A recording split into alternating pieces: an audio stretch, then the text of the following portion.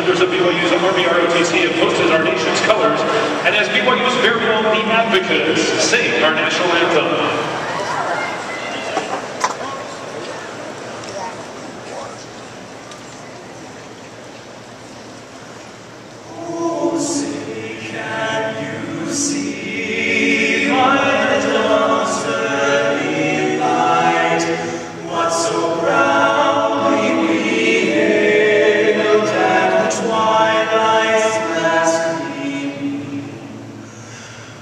Cross and Christ alone.